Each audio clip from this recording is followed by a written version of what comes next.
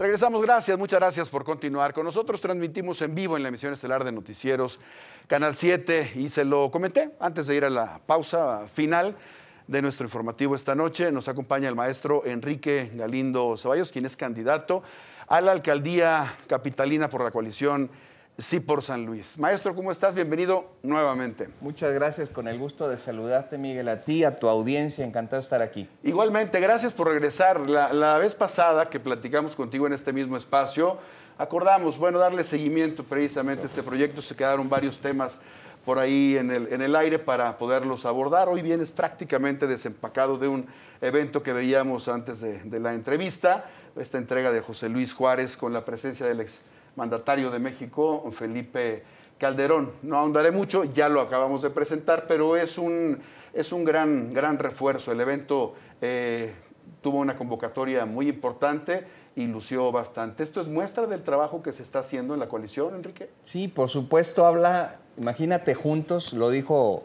el presidente Calderón en su intervención, en otro tiempo era imposible juntar al PRI, al PAN, al PRD y Conciencia.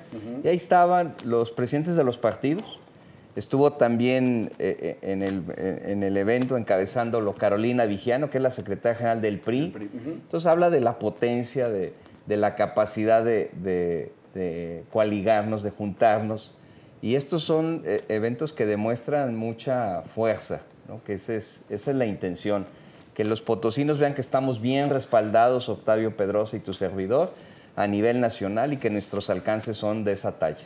Enrique, ya eh, manejando un poco el, mensaje de acuerdo al arranque de la, de la campaña oficialmente, que fue en la madrugada de este domingo, a la fecha, en esto menos de una semana, ¿cuáles son los puntos a destacar en los que ha trabajado Enrique Galindo Ceballos y cómo ha recibido la gente precisamente al candidato.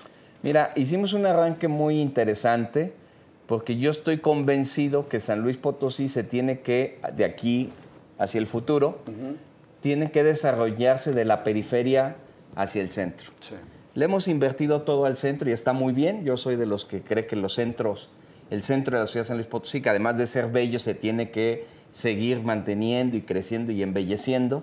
Eh, pero hemos abandonado la periferia y me refiero a las zonas delegacionales, Bocas, La Pila, Pozos, que ya estuve en las tres zonas, la zona no delegacional de Escalerillas y las colonias de la periferia.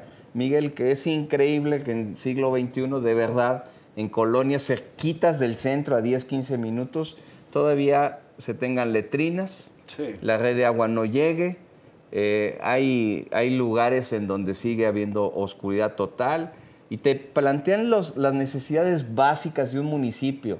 Y, e insisto, esta lógica de desarrollarnos de afuera hacia adentro te va a permitir darle equilibrio a la ciudad y hacerle justicia social a zonas de, de la capital que están muy abandonadas. Ayer eh, puntualmente estuve en el norte de la ciudad.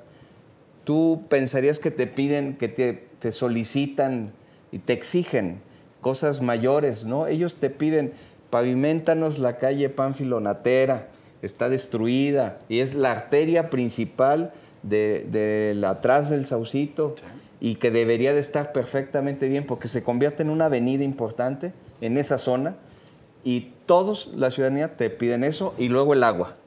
Pero va en esa priorización. Pavimentenos, arréglenos la calle. Por cierto, ayer Octavio y yo hicimos ahí un compromiso de en los primeros meses iniciar los trabajos de rescate de esa arteria que es muy importante, porque el norte no tiene mayor infraestructura. Si piensas del Saucito para allá, pues hay un abandono total y creemos que eso puede, puede resolverse. Entonces, he sido muy bien recibido. Eh, las peticiones cambian en función de la ciudad. Esta idea de desarrollarse de afuera hacia adentro ha caído muy bien porque le estás dando su lugar a zonas muy importantes como Pozos, que, estuvimos el lunes ahí. Y la gente de Pozos te dice lo mismo.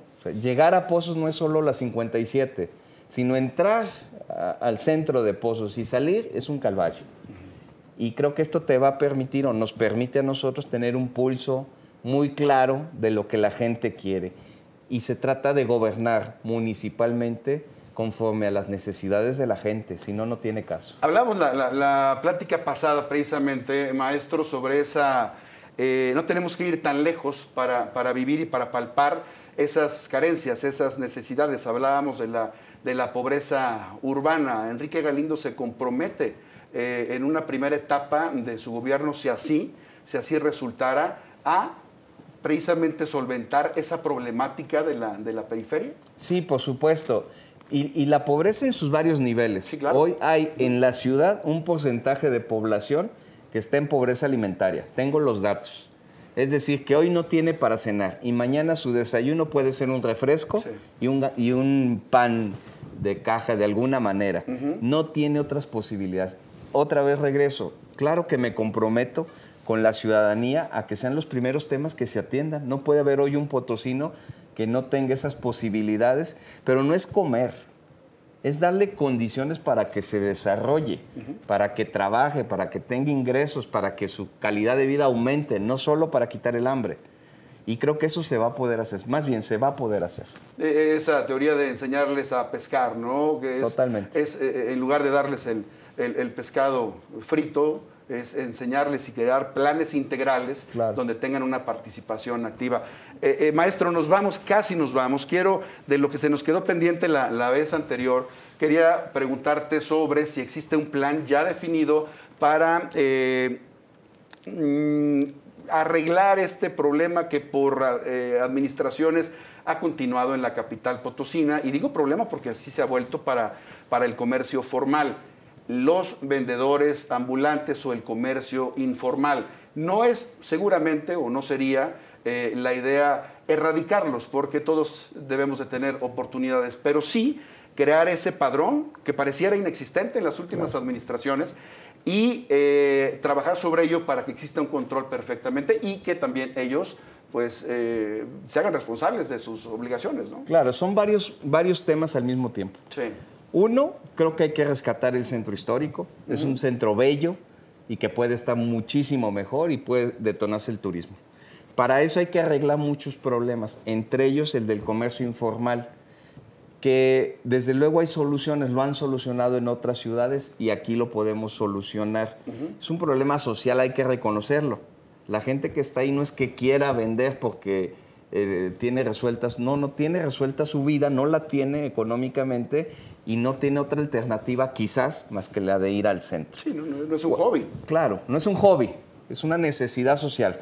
Si le ofreces alternativas reales de desarrollo económico, lo vas a poder hacer. Ayer, Miguel, anuncié, hoy por la mañana lo reafirmé, la creación del Instituto Municipal del Emprendedor. Sí que permita decirle a la gente, a la gente, no, al, gran emprendedor, al emprendedor de calle, que le diga qué puedes, qué quieres hacer. Y que con sus propias ideas y habilidades diga, quiero dedicarme a, hacer pan.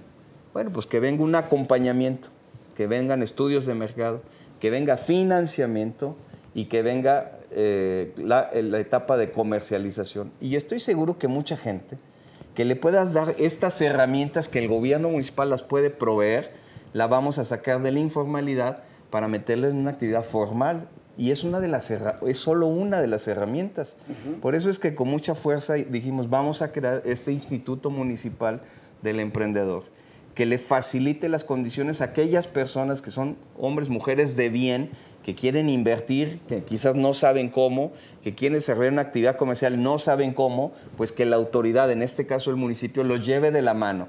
Y desde luego se puede enfocar principalmente al comercio informal, para darle alternativas a todas estas gentes y decirles, si hay cosas que hacer, vamos a hacerlas juntos, aquí hay recursos, pero hay acompañamiento y debe haber compromiso bilateral te ayudo, me ayudas. Claro, es, lo que platicábamos justamente en el, tema, en el tema anterior. Otro de los puntos que nos quedó pendiente y es muy importante dentro de esta etapa necesaria de movilidad en, en la capital potosina está en la situación de, la pavimentación de las calles, de los baches. Es un problema real, no es una cosa menor, maestro. Y todos los días te lo digo porque en todos los espacios informativos y nuestra producción hermana Atención Ciudadana tenemos muchísimas llamadas y quejas sobre ello. ¿Qué hacer? Sí, claro. Eh, requiere una inversión mayor. Eh, Octavio Pedrosa y yo hemos platicado que es el tiempo de construir una ciudad de alto nivel.